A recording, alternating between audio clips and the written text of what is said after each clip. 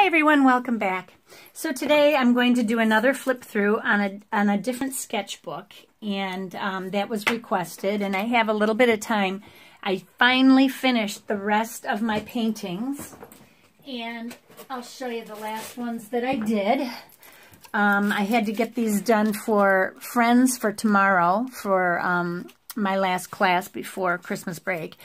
And then um, the other ones for my family, which I'm having 40 people over on Saturday, and I'm giving one to each family. So um, this was one that I did today.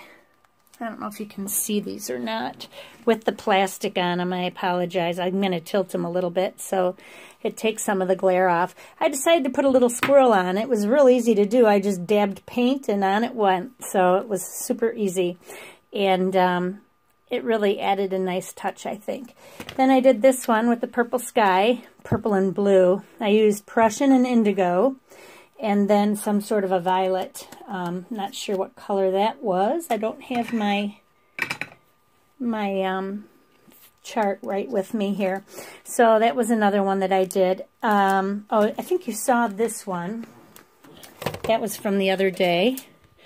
And then this one I wasn't sure about, and I asked my son, and he said, no, it's fine, use it. So I'm going to go ahead and use it, but I'm not real super pleased with the way it came out. So um, it makes me nervous to give something away that I don't feel 100% secure on. You know what I mean? But anyway, that's not what this video is about. So let's move on. Um, before I do the flip through, there was something else I wanted to address. Um, somebody had said that uh, they were having problems with their Pentalic book that they bought and that it the cover tore away from the book. And that happened to me also. Um, this was my first my first sketch book that I bought from Pentalic. And right away when I got it, I had to make sure I have my address covered here so I don't have to edit all that out. Um, when I got it, I took this first page, and excuse this this thing on the next page. I was screwing around, and it didn't turn out very well, but um, I wanted to pull this back. But when you pull it back to meet the edge of the cover over here, what it does is it pulls this page up. See? By pulling, it pulls the page up.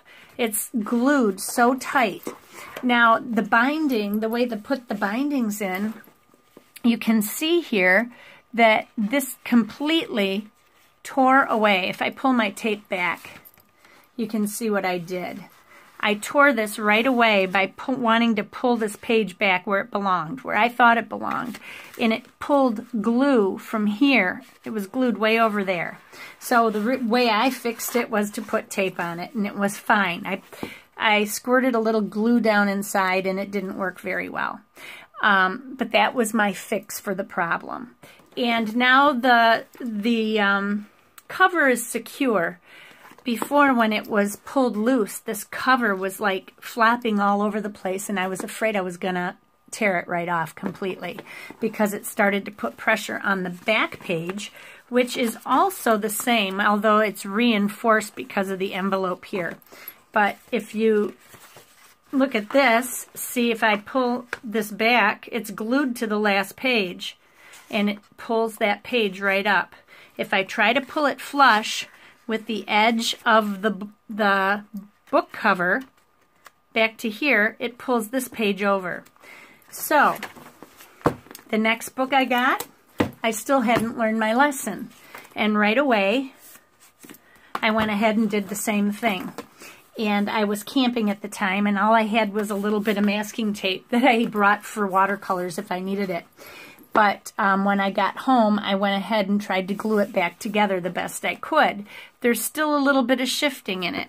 So people have complained about that, but the same thing happened, that if I pull back on this page to, to bring it flush with the edge of the cover, it pulls this page up and over completely and the glue, you can see my page was glued all the way up to here in this page. It's supposed to be way, way up here, like this. That's how it was glued. So each one is glued way over onto that first page. So how do you get around that? Well, finally, after two books, I just grabbed my newer one, I figured it out. And I thought, okay, well, I can't pull that page back or I'm going to ruin my book binding and my cover's going to fall off. So on this book, what I did was I put a fold right where the glue is. I just folded it back. Just, oops, did I have that in there or not? No, I didn't. Good. Um, one second here. I just got to cover my address. Okay, we're safe now. Um, so what I did on this book, what you need to do when you buy these books is just take this first cover page and just fold it at the glue line. Wherever it naturally wants to drop, then just press it down like this.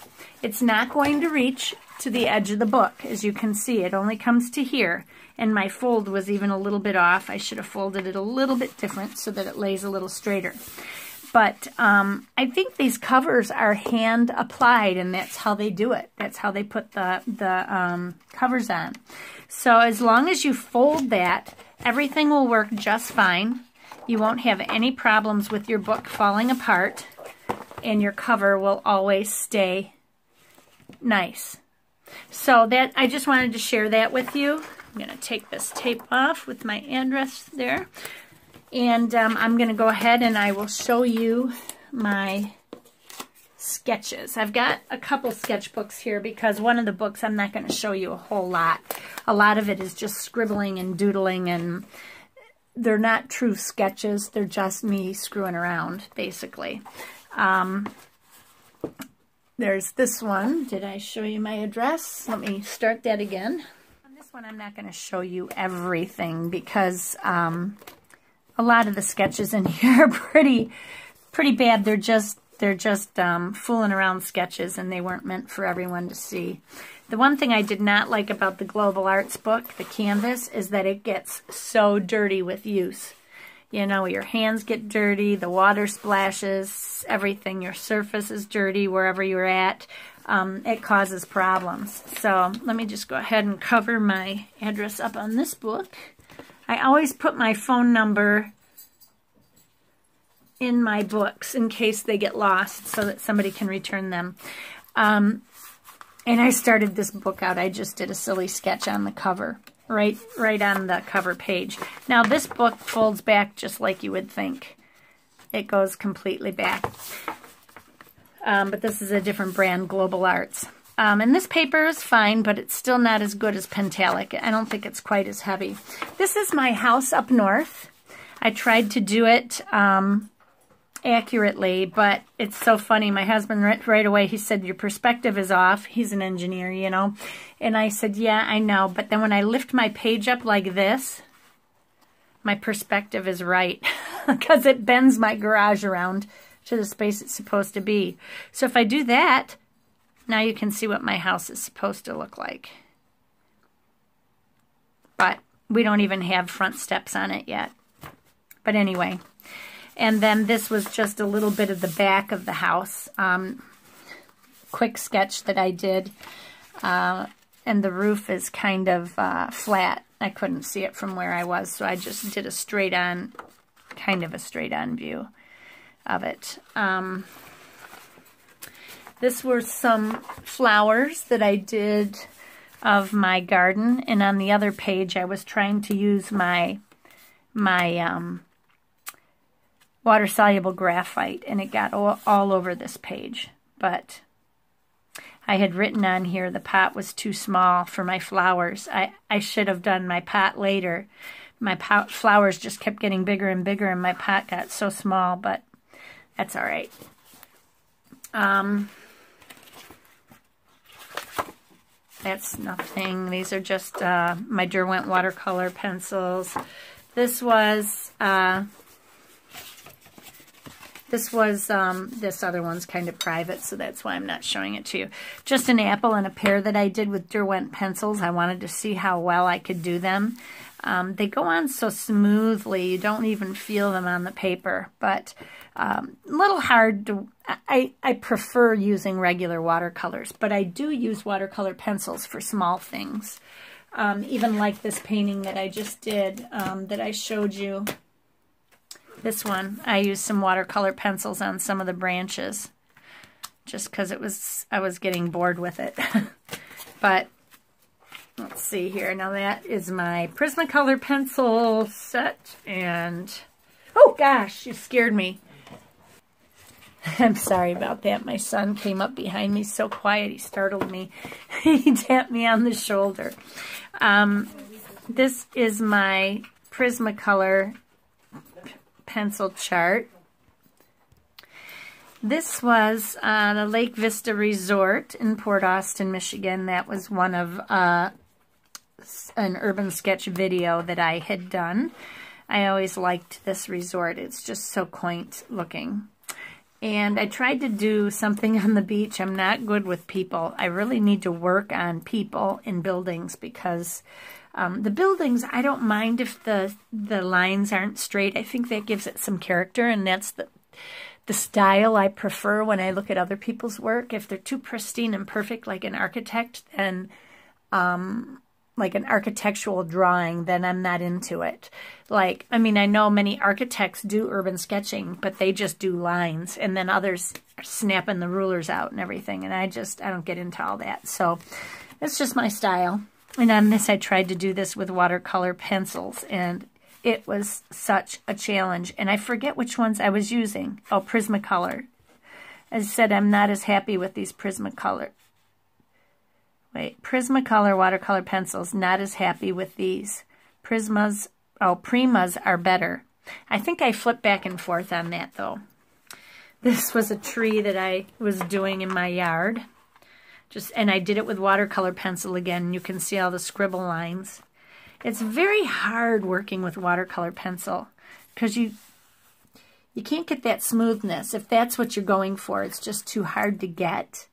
I like watercolor pencil for some things, though, when you want lines to show. You know what I mean? Um, then this was just a barn that I did.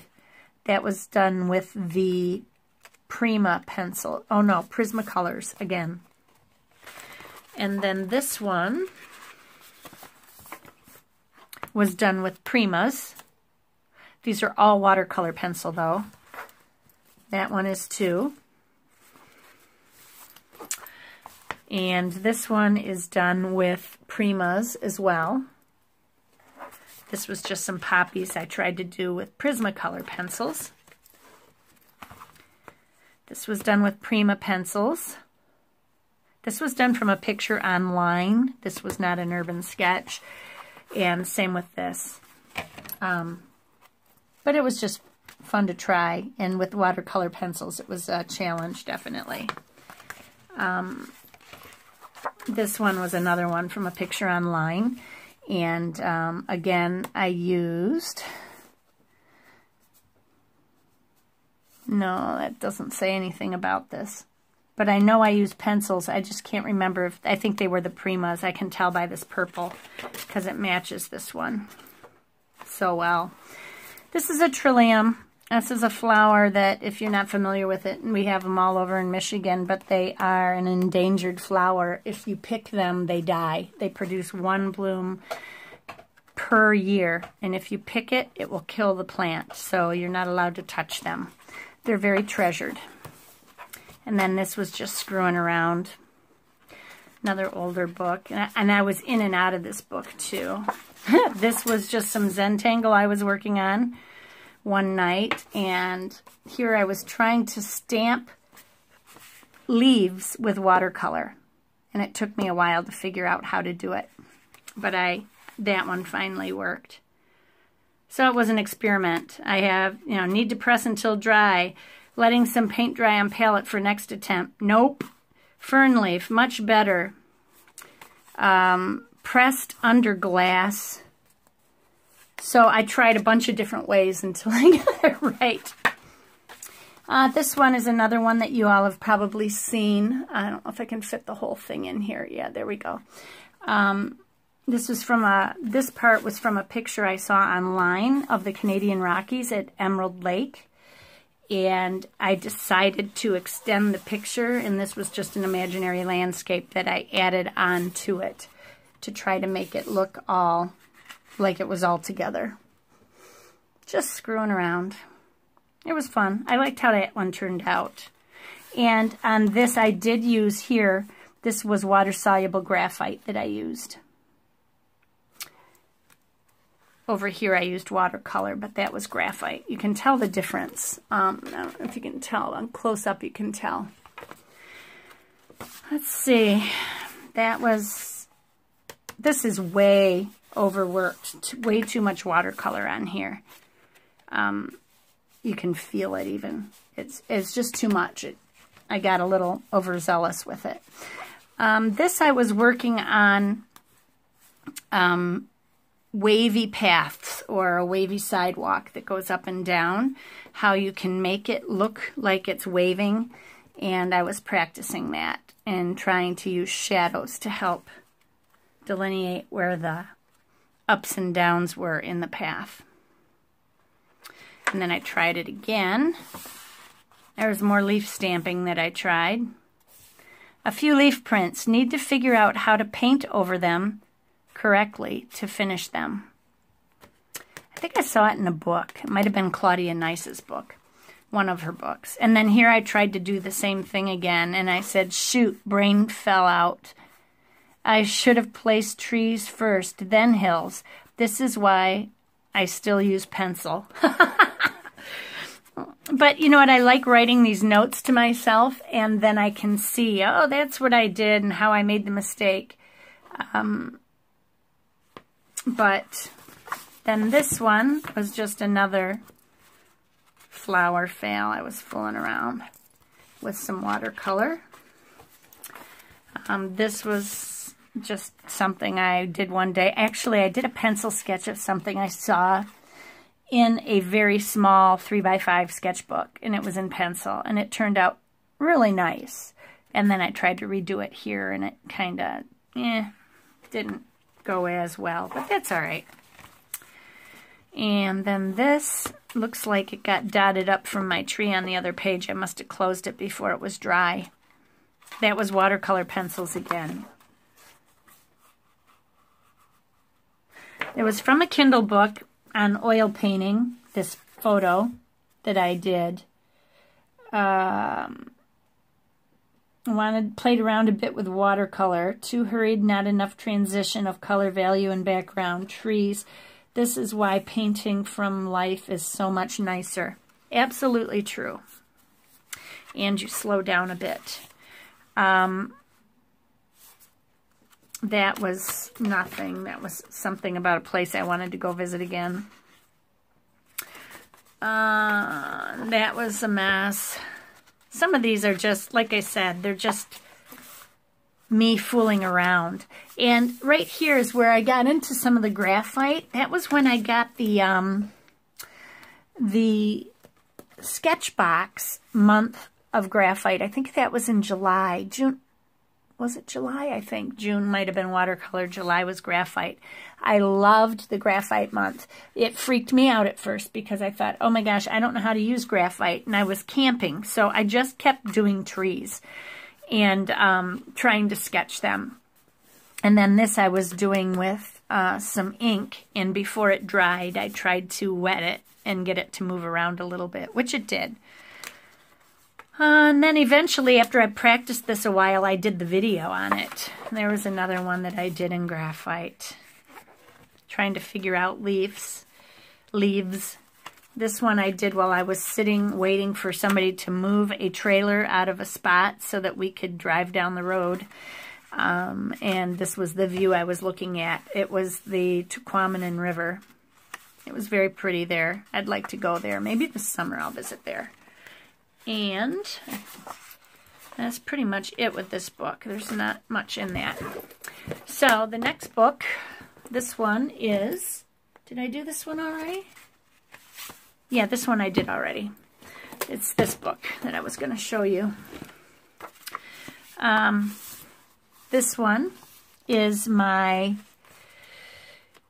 Iroquois Lighthouse up at Lake Superior. This was from our vacation this summer. You can see the difference in how I'm getting better with sketching here. Never used a ruler or anything on that. but my lines were getting a little better.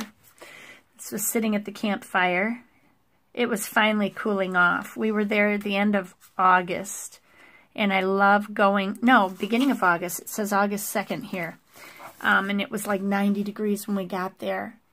And we go way, way, way, way up north in Michigan to try to get away from the heat. But I can remember one time going up to to um, Porcupine Mountains in um, upper Michigan in the upper peninsula and it got up to 110 that day and we were all the way up in Copper Harbor, Harbor which is the absolute highest tip in the country and we could not get away from the heat. It was still over 100 degrees there. They broke a record from the 1800s or something.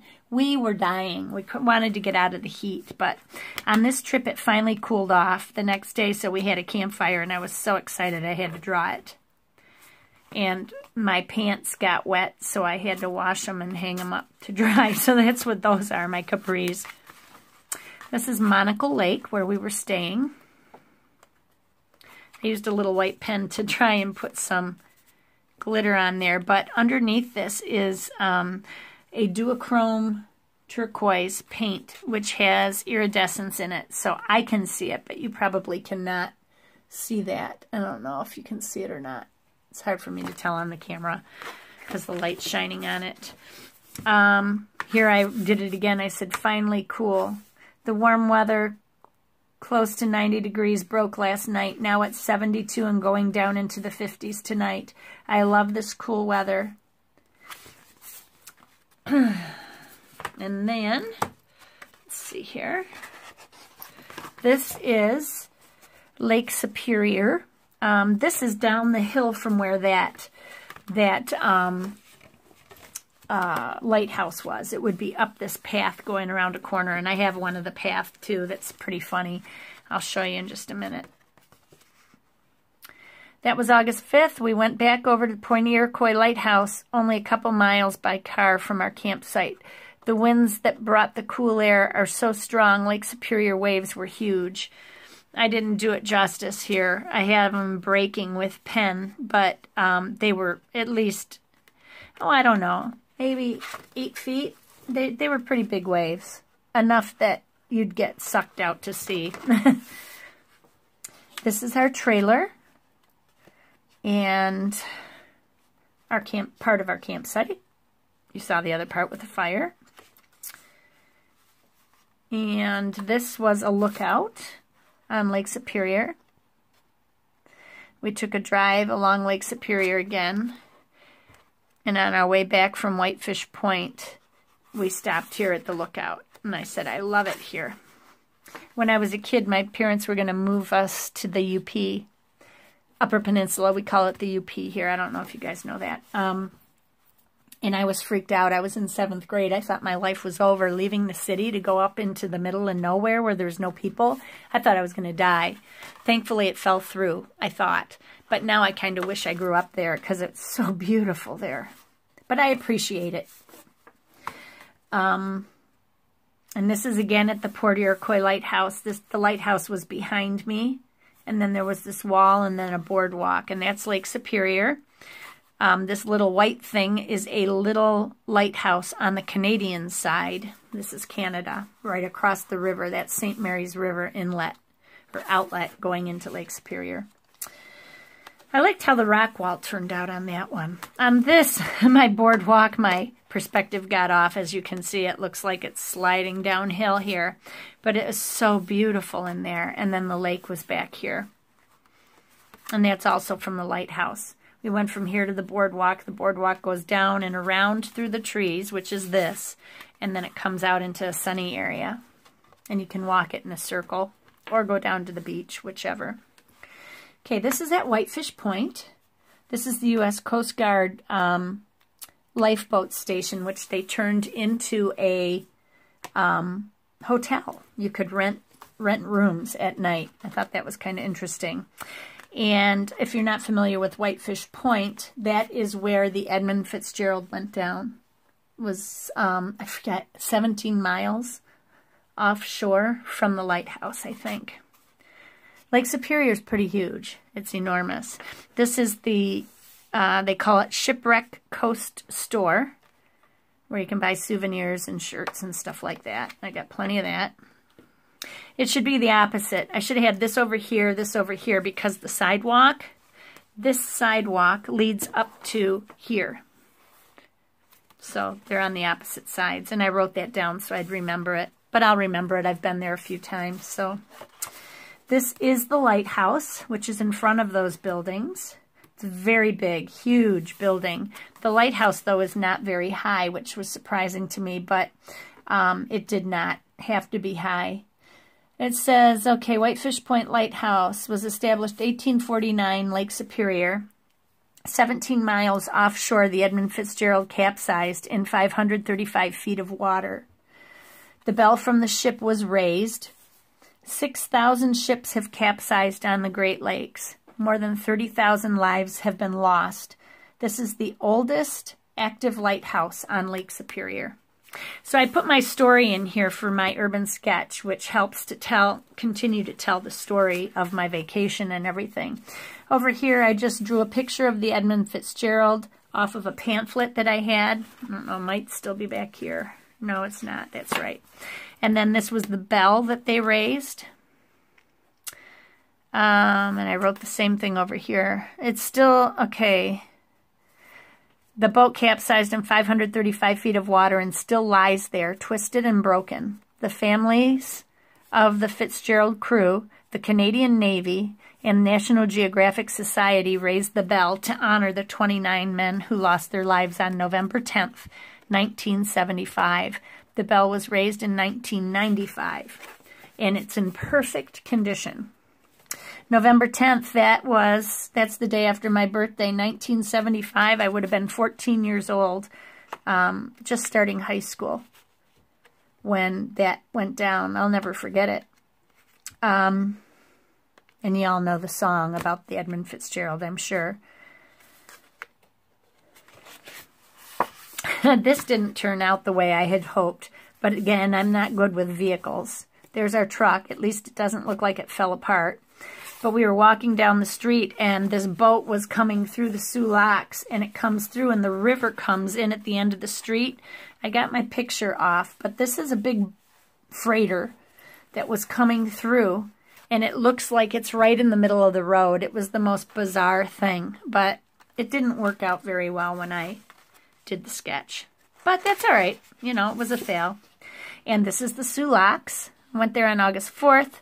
Um, this is from the U.S. side. Canada is in the background here. Um, we went at dusk. It was beautiful. There was a gorgeous sunset behind us. Um, we went to Sault Ste. Marie for dinner and then walked over there for the sunset. It was really beautiful. And you can watch them raise and lower the water level because Lake Huron drops 1,000 feet from Lake Superior. It used to be all um, waterfall. And so in order to get ships through, they built the Soo Locks. And they raise and lower the water so that the ships are at the right level when they're coming through, or they'd capsize. Very interesting how it works. It's fun to watch. These were just some doors that I did from photos online. It says I was practicing technique from another artist in France.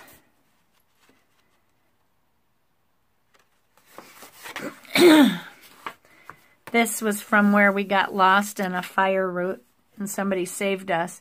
The photo was beautiful and I did not do, do this very well. I was a little disappointed in this, but I'm going to paint it again someday and do a good job. And then I'll do it so that I can frame it, not in the sketchbook because the place was gorgeous. This was a house in Petoskey. I'm on to another trip now. And I need to write that on there. I keep forgetting. It's probably why the ribbon's here. Um, we were driving down US 31 and I saw that house and I thought, oh my gosh, I have to sketch that. It was so gorgeous. Gorgeous. And this is another house in Harbor Springs. I was sitting in uh, on in a park right at the marina and I turned around with my back to the water and across the street I saw this house and it was also beautiful. I just loved the cupola and all of that on the house and all the detail work. There was this anchor on the front that was carved out and then the space to the window. And the same over here. They had these designs. They were so intricate. The architecture is just amazing there. This was from a video that I did on YouTube. And now we're into Inktober. This was Inktober day one, which was fast. So I did fast water. I had never done Inktober before. This was my first year doing it. Day two, um, I did that with my Platinum Carbon ink pen and some India ink. That was noisy. So I did crows. This one was kind of a cop-out. I ran out of time, so it was um, collect. And so I put fountain pens and watercolor brushes.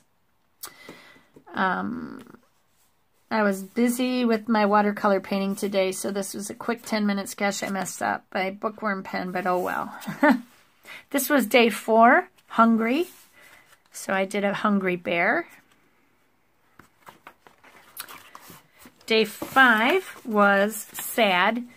I was really kind of impressed with the way I did this because I'm not a portrait sketch artist. And doing this with a brush and just, um, I used uh, Parker's Quink ink and it changes color. It was black and it had purples and blues and greens and yellows in it. So it changed as I put it on the paper. But what I did was I used little shot glasses. Actually, there's a video on it. You can go watch it um, if you want to see how I did it. And then day six, I was really not happy with this. It looked like I squished the cat. But it was a cute photo I saw of a cat hiding under a newspaper. And it said, uh, the, the word that day was hidden. This day was sad. Uh, Inktober Day 7 was Lost. Inktober Day 8 was rock. So I just did a mound of rock. My pages got so dirty. It's kind of a bummer when I do that. Day 9 was broken, and I did broken trees. A broken one there, broken one there. This one I was so bummed about because it was jump and I loved how this frog was turning out and I did not realize that the ink I was using was water soluble. All that blue was ink. Oh, it was awful. So I just gave up and I left it. I don't think there's any way to save it now because, I mean, look at the feet. But I was so happy with it too. My pencil sketch was so good.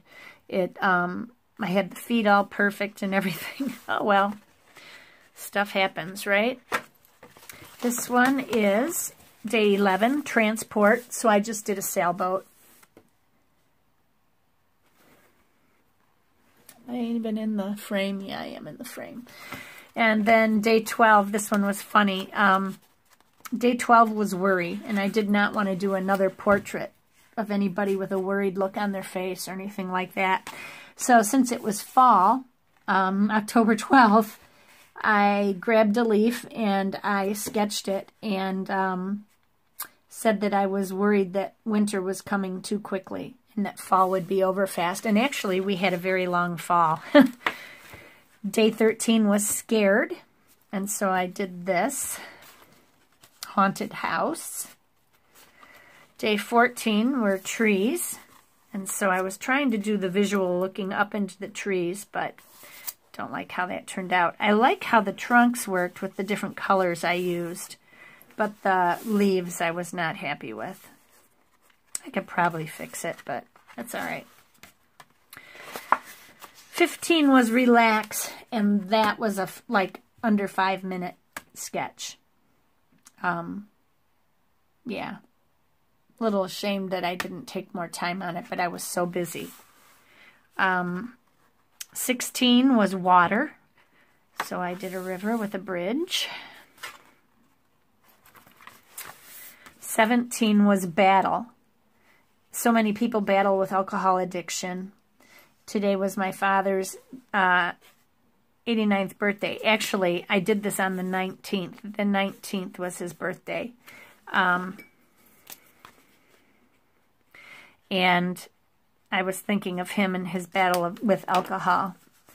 I'm so thankful that he was successful at giving up alcohol. He did great. He's been sober like 37 years, 36 years, something like that.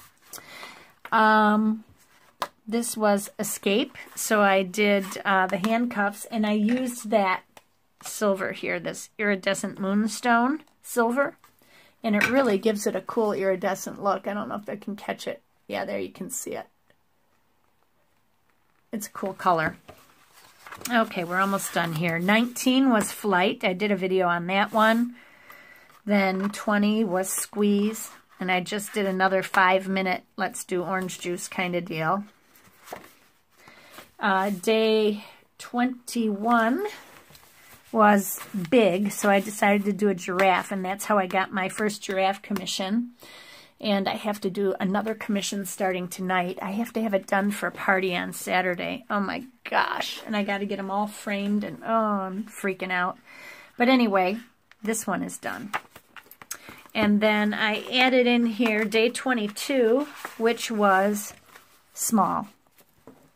And I did a mouse. It was a big mouse, but I did that for small. And then after day 22, I was so busy with commissions, I just never got any further.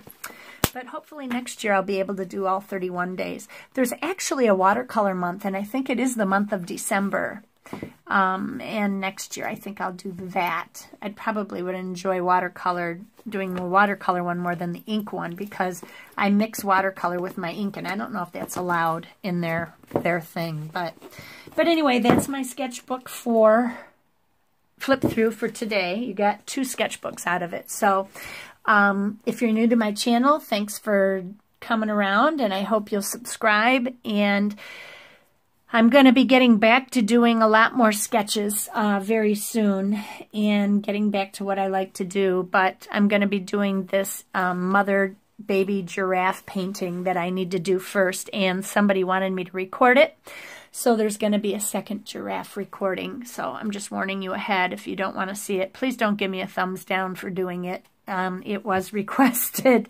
So um, everybody have a great day. And if you're new to my channel, please subscribe and thank you. And I'll talk to everybody soon.